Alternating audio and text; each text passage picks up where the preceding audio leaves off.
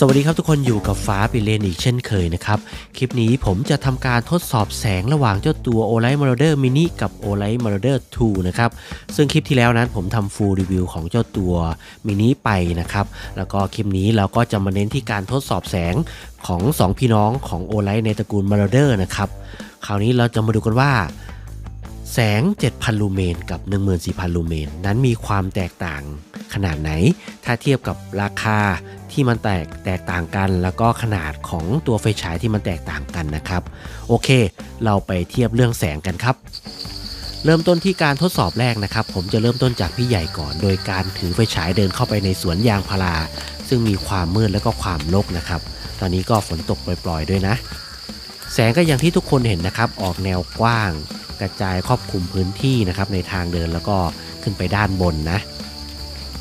คราวนี้เดี๋ยวรอผมหันมาหันหน้าเข้าหากล้องนะครับ ตอนนี้ก็เดินถอยหลังอยู่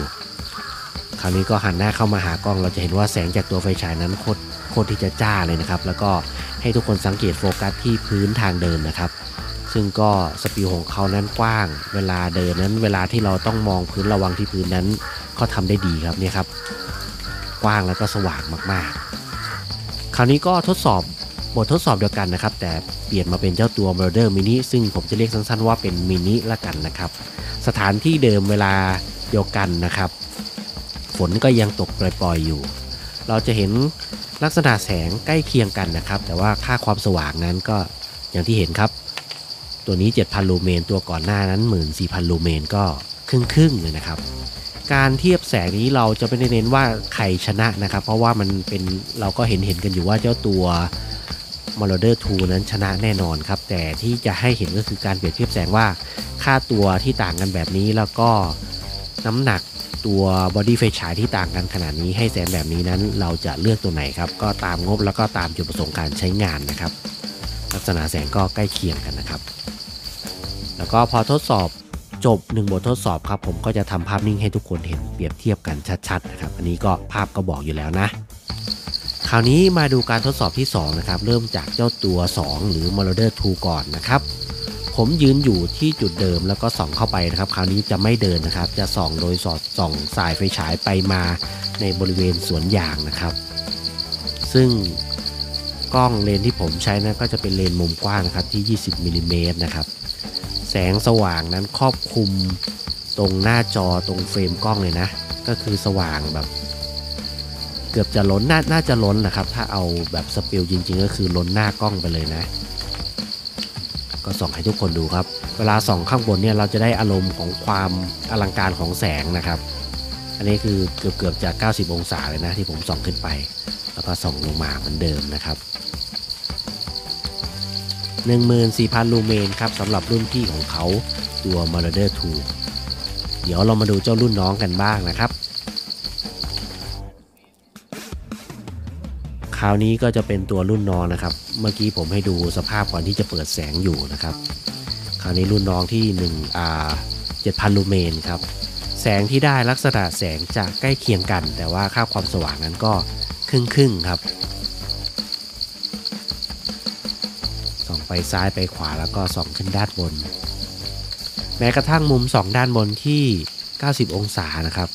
ลักษณะของแสงก็คือยังให้ความอลังการอยู่สปิลก็ยังกว้างแบบเต็มเฟรมกล้องอยู่นะครับ แต่ว่าความเข้มแสงนั้นก็จะลดน้อยลงตามค่าความสว่างนั่นแหละครับ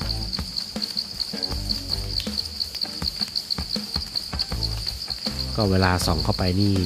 สว่างจริงนะครับ เหมือนเหมือนเปิดไฟนีออนเลยครับ ไปดูมุมสูงอีกทีหนึ่งนะครับ แล้วก็เลื่อนลงมาข้างล่าง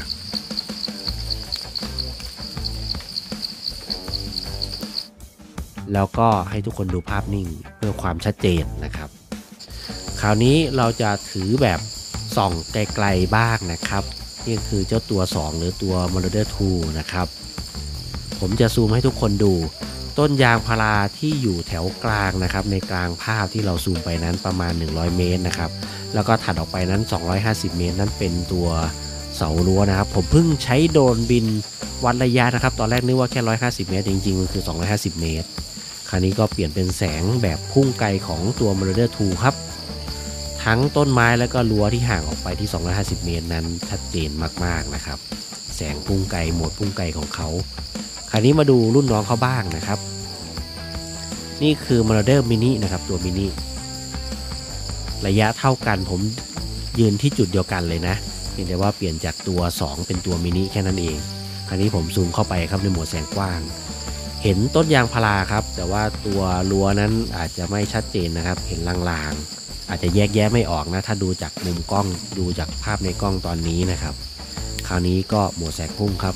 พอโหมดแสงพุ่งก็หายห่วงครับ ผมซูมให้ดูตรงกลาง 100 เมตรสำหรับต้นไม้แถวตรงกลาง แล้วก็ 250 เมตรสำหรับรั้วด้านหลัง ชัดเจนมากครับ รุ่นพี่กับรุ่นน้องเนี่ยในโหมดแสงกว้างไอแสงพุ่งเนี่ยทำได้ใกล้เคียงกันเลยนะครับ จากนั้นก็เรามาดูภาพนิ่งจะเห็นชัดเลยในเรื่องของความสว่างนะครับ คราวนี้ผมจะถือเดินนะครับ เริ่มจากเจ้าตัว m a r a d e r 2รุ่นพี่เหมือนเดิม ให้สังเกตที่สปิลที่อยู่ด้านกว้างนะครับ ขึ้นไปเกือบจะล้นเฟรมกล้องนะ นี่ครับพอผมส่องขึ้นไปก็จะเป็นแบบนี้ส่องซ้าย แล้วก็ส่องไปทางขวานะครับ เราจะเห็นคิวต้นยางชัดเจน คราวนี้มาเป็นตัวมินิบ้างนะครับ ลักษณะแสงยังเหมือนเดิมนะครับ มุมกล้องอะไรนี่เหมือนเดิมเลย จุดที่ผมเดิมก็จุดเดียวกัน ต่างกันแค่ไฟฉายสองรุ่นแค่นั้นเองนะครับ ค่าความสว่างก็อย่างที่ทุกคนเห็น ลักษณะแสงเหมือนเดิม แต่ความเข้มแสงอาจจะน้อยลงนะครับ แต่ว่าเขาก็ทำได้ดีนะ มาดูภาพนิ่งกันครับนี่ครับ ถ้าเห็นภาพนิ่งแล้วก็จะเห็นความแตกต่างชัดเจนนะ คราวนี้ก็ถือสำรวจนะครับ เป็นเจ้าตัว m a r a d e r 2 ก่อน2สำรวจมันก็จะได้ทั้งระยะใกล้ระยะไกลแล้วก็ระยะกลางนะครับ เรื่องแสงนั้นถ้าเปรียบเทียบกัน 2 ตัวนี้มันสู้กันไม่ได้อยู่แล้วนะครับ แต่ว่าที่ผมมาเปรียบเทียบให้ทุกคนดูเนี่ยเผื่อใครกำลังตัดสินใจอยู่จะได้เป็นข้อมูลนะครับว่า ตัวใหญ่ราคาก็จะแพงขึ้น แต่ค่าความสว่างก็จะเพิ่มขึ้น ส่วนตัวเล็ก ราคาก็จะถูกลง ค่าความสว่างลดลง แล้วก็บอดี้ก็เล็กลงก็พกพาง่ายสะดวกครับ มีได้มีเสียกันคนละอย่างนี่คือตัว m a r a d e r 2 นะครับ 14,000 ลูเมน คราวนี้มาดูรุ่นน้องเขาบ้างนะครับ ที่มืดๆเมื่อกี้ก็คือผมลองปิดไฟให้ดูนะ ก็คือมืดสนิทเลยนะครับ คราวนี้มาดูรุ่นน้องเขาบ้าง ที่ 7,000 ลูเมนนะครับ ลักษณะแสงก็ยังเหมือนเดิม สว่างเกือบจะเต็มเฟรมนะครับ แล้วก็เวลาพอส่องไปเนี่ยมันเหมือนเราเปิดไฟนีออนตรงจุดนั้นเลยนะ สังเกตที่พื้นครับพื้นสว่าง จากนั้นสูงขึ้นมาหน่อยก็คือเป็นทิวต้น ต้นยางพารานะครับ ก็สว่างชัดเจน แล้วก็สูงขึ้นไปก็คือเป็นทิวใบใบยางพารานะครับ นี่ก็ชัดเจนเหมือนกัน ก็สำหรับคลิปนี้นะครับ ขอบคุณสำหรับการติดตามรับชมนะครับ ฝากกดไลค์กดแชร์กด Subscribe ให้ผมด้วยนะ เพื่อเป็นกำลังใจในการทำคลิปออกมานะครับ แล้วเจอกันใหม่คลิปหน้าครับผมสำหรับคลิปนี้ สวัสดีครับ